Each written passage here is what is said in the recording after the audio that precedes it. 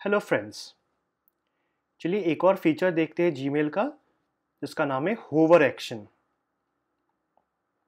हमने पिछली वीडियो पे आपसे ये सेटिंग्स में जाके ऑन करवाया था होवर एक्शन होवर एक्शन का मतलब है जब भी आप अपना माउस अपने मेल के ऊपर ले जाओगे, जैसे कि मैं फ़िलहाल इस मेल को देख रहा हूँ।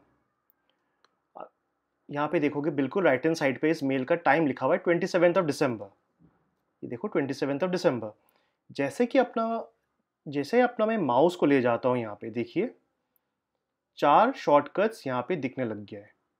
सो ये है होवर एक्शन इससे थ्रू आप क्या कर सकते हो? पहला ऑप्शन है अर्काइव अगर आप चाहते हो कि ये मेल बॉक्स ये मेल अपने इनबॉक्स से चला जाए तो अगर आप ये बटन क्लिक करते हो अर्काइव ये मेल आपके ऑल मेल वाले बटन लेबल्स पे आपके अंदर चली जाएगी।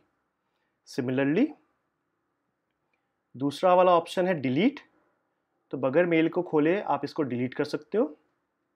जैसे कुछ मार्केटिंग ईमेल्स हो, आप इसको ओपन नहीं करना चाहते हो, यहीं से डिलीट कर दो ना आप। तीसरा है मार्केस रेड एंड अनरेड तो क्योंकि ये मेल रेड है तो अनरेड का ऑप्शन आ रहा है। और अगर मैं ये अनरेड वाले मेल पे जाऊँ, आप देखोगे यहाँ पे मार्केस रेड का ऑप्शन आ रहा है। तो इस तरह के मार्केटिंग ईमेल्स को आप मार्केस रेड अनरेड कर सकते हो। और चौथा फीचर है स्नूज़ स्नूज़ के बारे में हम कुछ आगे वीडियोस भी सीखेंगे। स्नूज़ का मतलब होता है इस मेल को यहाँ से मूव करके आप अपने बताए हुए समय पे वापस ला सकते हो।